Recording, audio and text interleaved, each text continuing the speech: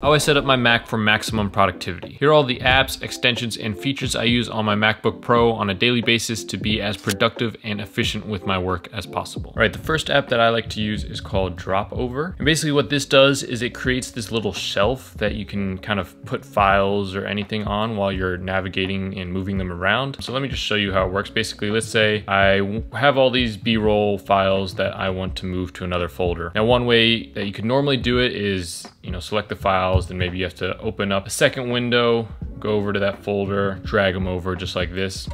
That works obviously, but like it's a little clunky. So with Dropover, what you can do, I can just select it, press a little shortcut, and then it opens up this shelf and I can just place the files here. And then in that same window, I can just quickly navigate to the folder that I want to move them to and drag them in just like that right off of that shelf. It also has some other cool features. So let's say you select a file, you can also shake to uh, have the shelf appear. You can drag it onto this little lightning bolt and that'll quickly give you a few different options. So let's say I wanted to airdrop this to my phone. I could quickly just drop it on the airdrop. I could put it into messages and send a, a text message quickly to someone. So it's just a little minor quality of life difference that makes navigating files and organizing things a lot easier. The next app that I use on my MacBook is a classic Mac productivity app. And that of course is Alfred. You probably have heard of this one, it's been around for a while, but Alfred basically replaces the Spotlight search system on your MacBook. I don't even know how to get to that anymore because I've like disabled it, I think. So how this works is basically you set keyboard shortcut minus command space, and this opens up this little Spotlight window, and you can type things into here like apps. So I can open up my calendar, I can open up Todoist, I can open up uh, Final Cut Pro, and you can just very quickly open up a new app. I think like what most people usually do is they take their mouse and and they come down to their dock here, they look for the app, they find, okay, then they click it and then it opens and that just takes forever. Now that might not seem like a big deal, like it's just a couple other seconds, but when you're constantly, you know, opening new apps and stuff, um, navigating your computer, if you use it a lot for work, then that little few seconds really starts to add up and saves you a lot of time in the long run. And one thing that I like to do is I set up a few different hotkeys. And so these basically allow me to do a key command and really you can do anything, but I like to just have it open up certain apps that I use a lot. So I have like control command C just opens up Chrome real quick. I have control command T opens up my Todoist, control command W opens up my calendar, and I can just very quickly open up apps just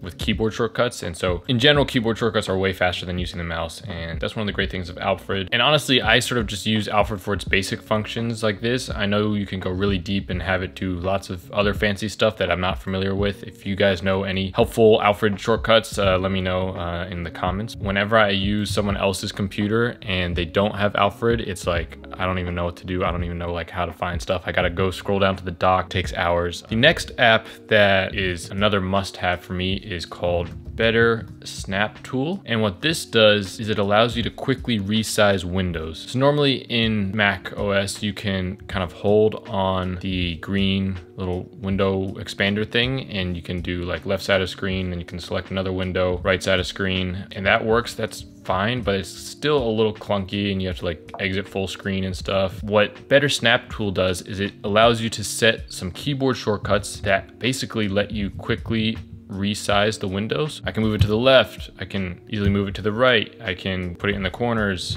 And if you have another monitor, I don't have mine hooked up right now, but you can set a key command to quickly move one window to your other secondary monitor. But yeah, so this is really nice. I can just quickly resize windows like this. I have Chrome open. I have, say I want my calendar up here and then I want this up here and I want, you know, Spotify uh, down here. I can just move this all around and go crazy. And it's just way faster to resize windows and keep your sort of screen all organized. Next up, we have Google Drive, and that is the main application that I use to back up my files to the cloud. I've still been struggling to find the perfect file backup system that works well with um, Apple products, but for now I've been using Google Drive mainly because I use my university account from when I was in college and they gave us like unlimited storage. I don't know if, if you're in college and and you have like a school email that's associated with Google, it's like a Gmail, might have unlimited storage. So I would definitely, you know, set that up and take advantage of that. So that's basically the main reason I use Google Drive. As you can see, I have like 9.05 terabytes backed up here. So I have like all my YouTube videos and things backed up and hopefully I never lose access to this, uh, fingers crossed. But one nice thing about Google Drive is it kind of creates this folder in your Finder window. And so like I have my B-roll library uploaded to Google Drive. And so all of these these files here aren't actually on my MacBook, they're saved to the cloud, but I can still open them and view them on my computer here. And let's say I'm editing a video in Final Cut Pro. What I can do is I can come to my B-roll library, which has, you know, loads of videos in here, so it's taking up a lot of storage, but it's all on the cloud. I can select the video that I wanna use in editing. Let's say I could even use my Dropover, then drag it just straight into Final Cut Pro. And this is basically dragging straight from Google Drive more or less. And I don't have to worry about, you know, downloading the video file to my computer and then uploading it to Final Cut Pro. I can just go straight from the cloud, which is pretty nice. Next up, we have Apple Notes, and that is my main sort of note-taking app that I've been using lately. And so I talked about this in my simple productivity system video that I posted a couple weeks ago. I'm sort of following Tiago Forte's system for organizing notes. So I've got projects in here, areas, different areas of my life, YouTube, health, education, minimalism, relationships, resources and stuff. And I really like Apple Notes. It gets the job done. It's simple. There's this one productivity meme that was going out basically saying how Apple Notes is, is the best. And that kind of resonated with me. And so now I've been using Apple Notes and they've been updating it gradually with some good updates. Now they've got like links and stuff you can do, which are pretty nice. Maybe I'll do a full video on Apple Notes if you guys want to see that. But simple, gets the job done and is my main note-taking app. Next up, I like to use Apple Calendar on my Mac. Pretty self-explanatory. Just again, like Apple Notes, simple, gets the job done, no bells and whistles. As you can see, I've got a bunch of, you know, time blocks on here and I've got a whole system kind of how I use this in conjunction with my to-do list app. If you want to learn more about that, definitely watch that video on my channel on my simple system for productivity and time management. And I go more in depth on how I use calendar in conjunction with a to-do list app. Next up, we've got Todoist, and this has been my main to-do list or task manager app of choice on my MacBook. And I like Todoist because it's got some pretty good features. It seems like the developer team, you know, is pretty proactive about updating it, but it's also, you know, still fairly simple, not too distracting with random bells and whistles and gets the job done so that I can focus most of my time on actually doing work rather than just planning what to do. And right now I've got it set up kind of similar to my calendar. You can see with like these main categories, my life, YouTube, health, education, discipline, relationships. And so I've kind of organized my tasks in there and then I like to prioritize them depending on, you know, if it's a really important thing that I want to do that day or if it's, you know, somewhat important or if it's like not super urgent. Um, but I get more into that in my productivity system video. So I've really been liking Todoist and the Mac app is great. It also has a nice shortcut feature where you just press a command and it opens up a little window. Kind of like with Alfred, I have mine set as option space and it opens this up. I can quickly add a task and then you can, you know,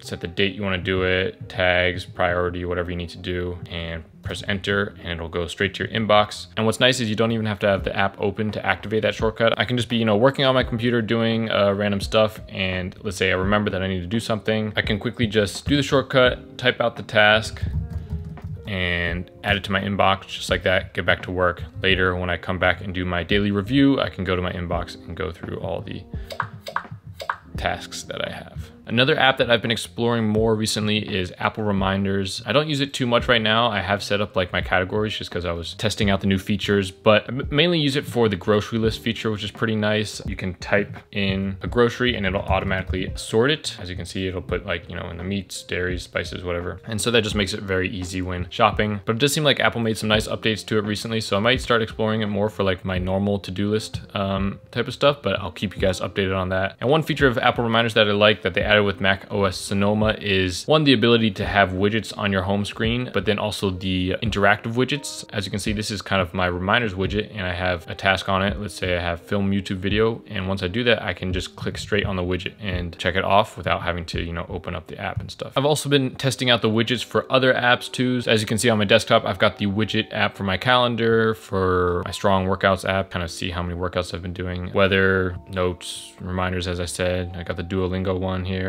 some quotes from Readwise, which is pretty nice. I've also got my Oura Ring widget that kind of shows when I should be going to bed. To be honest, I haven't really found myself looking at the widgets on my desktop that often, but I think I just need to remember that they're there and get used to it because there is definitely some helpful, useful information on them. Next up, we've got Chrome, and that has been my main web browser of choice. I would like to use Safari because I've heard it's generally faster and I'm an Apple fanboy, but the main thing that's holding me back is the lack of extensions in Safari, whereas Chrome has a pretty good selection of extensions that you can use. And so there's a couple extensions that I like to use that really helps me be more productive when I'm using YouTube in particular, because as you probably know, you can watch a lot of educational good videos on YouTube, but you can also get distracted very easily. And so one of the extensions basically blocks out my entire YouTube home screen. So like normally you see all those recommendations and stuff, you know, thumbnails trying to get your attention, but with this extension, it hides all of that. And also if you click on a video, it'll hide all the recommendations on the side. So you can just focus on the video that you're watching and be more intentional with how you spend your time on YouTube. The other extension is actually the Readwise extension. So I've been using this app called Readwise Reader lately. It's a new app that they're offering and basically it's like a glorified watch later kind of website or app. And so now I'll pretty much only watch my YouTube videos through this Readwise app. So what this looks like is let's say I'm scrolling through YouTube and I see a video that I want to watch. It seems pretty good. Instead of just watching it right then and there and getting distracted from whatever I need to do, I'll right click it and save link to reader. Or if you click on the video, you can click on the little Readwise extension icon here, and that will basically save it to reader. And then you can click open in reader later, and it'll open up the video in this nice format. It'll even have the transcript here, some information about the video, and you can watch it right here in Readwise reader. And so I really like that. No, I'm not sponsored by Readwise. I have like less than a thousand subscribers. So that's how you know that the information I talk about in these videos is legit and what I actually like to to do. But Readwise, if you are watching and want to sponsor me, definitely let me know. Next up, we've got the app CleanShot, and I can't show you the actual app right now because I'm actually using it to record my computer screen, but I'll show you their website. It's basically like a much cleaner kind of upgraded way of taking screenshots or screen recordings. You can do all these cool things like scrolling screenshots. So you can like take a screenshot of the entire page if you want. You can record your screen, like I said, and you can even have like your webcam picture shown on the screen recording. It's kind of like like Loom, if you've heard of that, but I feel like a little cleaner and better in my opinion. Yeah, so I would definitely recommend that if you take a lot of screenshots or like recording your screen for YouTube videos or anything like that. And then another app that I like to use is just the uh, Sticky Notes app. This is just a regular Apple app, but I feel like it's not really talked about much, but it's pretty nice. It basically works like sticky notes, but on your computer, obviously. I like to use this to just write out goals, as you can see, or anything that I'm trying to remember and keep in mind. And you can do nice things like have it stay like actually stuck to your window even if you open up other windows. So as you can see like I can just put this in the corner and if I'm doing other stuff like it's always going to be there. It's not going to get lost away. And you can save different sticky notes. You can make it translucent so it kind of goes in the background a little bit. But yeah it's pretty nice and simple and an underrated app in my opinion. And it's pretty nice for video calls too because let's say you have to take some notes or remember something that you need to say in the call maybe for an interview or something. You can write all your notes on your sticky drag it like right under the webcam and then you can like keep looking at the webcam as you're talking and also read your notes at the same time. Little cheat code. And another feature that helps me stay productive is the focus mode feature. And this really just mirrors what's on my iPhone and I get the same benefits of sort of filtering notifications based on my focus mode like I do on my iPhone. So I have different modes based on sort of different activities that I do, you know, deep work, sort of flow state. I would have most notifications get turned off when I activate this. Relax mode, I would start getting, you know, more notifications from people. Compared to the Mac, it's way easier for me to get distracted on my iPhone, but of course smartphones have become an essential part of our lives. The key is to make them work for you, not against you. Click this video to see how I set up my iPhone for maximum productivity. As always, do something today that your future self would thank you for.